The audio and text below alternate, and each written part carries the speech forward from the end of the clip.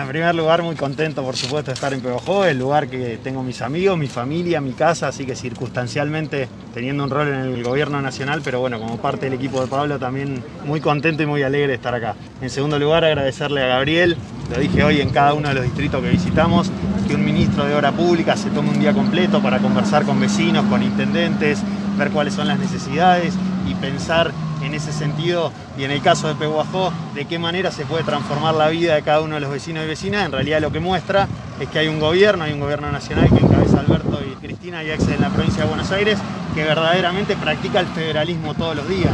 Cuando hablamos de los 2.300 municipios, en cada uno de esos municipios viven vecinos y vecinas que necesitan herramientas para recuperarnos. Primero de lo que ocurrió antes del 10 de diciembre del 2019, que es el gobierno de Macri, y segundo de la pandemia. Ahora, mientras todo eso ocurría, mientras la pandemia sucedía y mientras nosotros desde el Estado Nacional y del gobierno provincial y cada uno de los intendentes poniendo el cuerpo llevaban adelante las medidas para cuidar la vida de los vecinos y para proteger a los vecinos, nosotros teníamos la obligación de pensar herramientas para cuando salga la pandemia, cuando puedan empezar a trabajar las máquinas, cuando se pueda empezar a hacer obra pública, empezar a ejecutar. Así que hoy estamos haciendo eso, viniendo a Pehuajó, pensando en la salida de la pandemia, llevando el mensaje que es muy importante que la gente se siga cuidando, pero también ejecutando cada una de esas medidas para mejorar la calidad de vida. Mirá, algo muy puntual que me tocó casi personal, pero es político ver recién. Volví a ver un Pablo gestionando con un listado de obras, hablando con un ministro, como cuando yo era secretario de gobierno antes del 2015.